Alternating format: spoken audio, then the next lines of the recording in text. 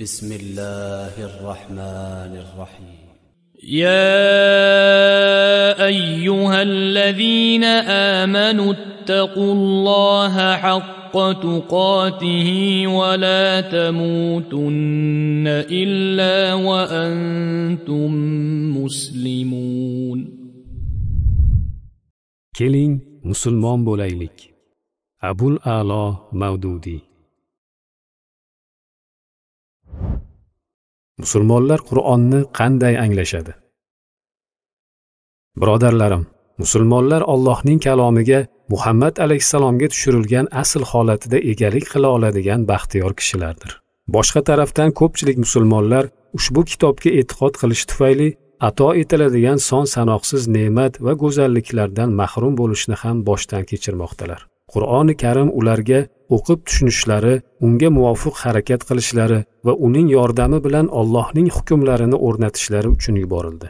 Tarix shuni ko'rsatadiki musulmonlar qachon shu ko'rsatilgan yo'ldan yurganlarida dunyoning yetakchi shaxslariga aylanishgan. Lekin bugungi kunda ko'pchilik musulmonlar uchun qur'onning foyda bermasligining bir nechta sabablari mavjud. Ba'zilar uni ba'zi yovuz kuchlardan himoya qilish uchun uylarida saqlashadi. Yoki tumorlarga yozib bo'ynilariga osib oladilar yoki bu tumorlarni namlab suv bilan ichadilar. Ba'zilar faqat marosimlardagina o'qishadi.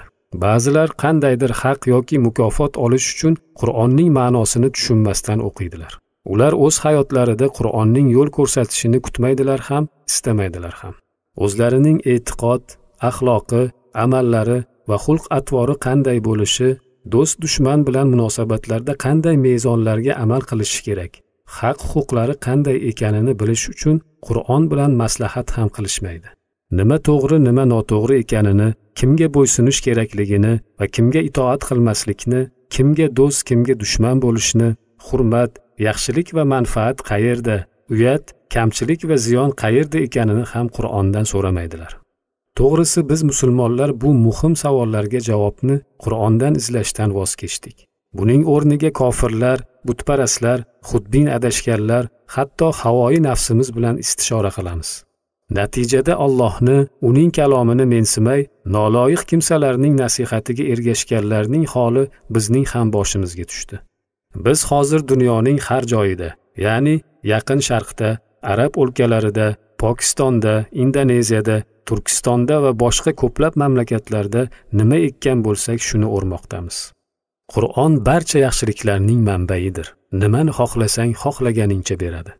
Agar siz undan jinlar va arvohlarni qo'rqitish yo'tal va istimani davolash o'z ishingizda muvaffaqiyat qozonish yoki ishga kirish kabi oddiy narsalarni qidirsangiz xohlagan narsangizga erishasiz. Faqat topganingiz shulardan iborat bo'lib qoladi xolos. Agar siz bu orqali dunyoda ustunlik azizlik va dunyoni boshqarish kuchiga ega bo'lishni xohlasangiz bunga ham erishasiz. Allohning nazdida yuksak darajaga ko'tarilishni istasangiz qur'on sizni u yerga ham olib boradi. Lekin olgan narsangiz ummondan bir tomchi bo'lsa qur'onni emas o'zingizni ayblashingiz kerak. Bamisoli ulkan ummon bo'lgan qur'on undan qanday foydalanishni biladigan ixlosmandlarini kutmoqda. Birodarlarim allohning muqaddas kitobi haqidagi shafqatsiz hazillar shunchalar ma'nosizki bunday ishlarni qiladiganlar aqldan ozgan kabilardir. Menga aytingchi kimdir shifokor yozgan dori qog'ozini yoqasiga taqib olsa yoki bir piyola suvga solib ichsa nima deyish mumkin? Uning ustidan kulib ahmoq deb o'ylamaysizmi?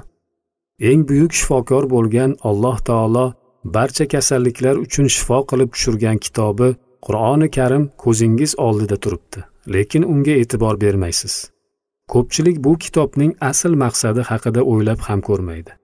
Aytingchi bir kasal odam tibbiy kitobni tuzalib ketishiga ishongan holda o'qiy boshlasa u haqda nima deysiz? Bu odam telba deysizmi? Biz eng oliy tabib barcha kasalliklarga davo sifatida yuborgan kitobdan xuddi shunday foydalanmoqdamiz. U ko'rsatgan yo'ldan yurmay zararli narsalardan saqlanmasdan uning sahifalarini o'qib muammolardan qutulamiz deb o'ylaymiz.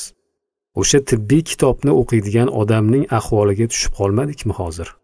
Masalan siz o'zingiz bilmagan tilda yozilgan bir maktub yoki biron xabar olsangiz unda nima yozilganini bilish uchun o'sha tilni biladigan odamga murojaat qilasiz. Hatto siz uchun arzimas bo'lgan moliyaviy foyda haqida gap ketishiga qaramay aniq nima deyilganini bilmaguningizcha bezovta bo'lasiz. Biroq olamlar parvardigori tomonidan yuborilgan sizga dunyo va abadiy hayotning barcha ne'matlarini taqdim etgan kitobni esa beparvorlik bilan bir chetga surib qo'yasiz. Allohning kitobida nimalar haqida gap borayotganini tushunmaysiz. Bu sizni bezovta ham qilmaydi. Bu ajablanarli hol emasmi? Men sizni kuldirmoqchi emasman. Bu haqiqatlarni o'ylab ko'rsangiz Allohning kitobiga qilinishi mumkin bo'lgan eng katta zulmni qilayotganingizni qalbingiz aytar balki sizga. Eng achinarlisi shundaki, asl aybdorlar unga o'z sadoqati va hatto jonini fido qilishga tayyor ekanini e'lon qilganlardir.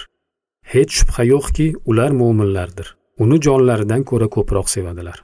Lekin afsuski, Qur'onga yomon munosabatda bo'lganlar ham shulardir. Allohning so'zlari odamlarga baxtsizlik, sharmandalik va azob uqubat keltirish uchun nozil qilinmaganini yaxshi anglab yetishimiz kerak ما أنزلنا عليك القرآن لتشقى إلا تذكرة لمن يخشى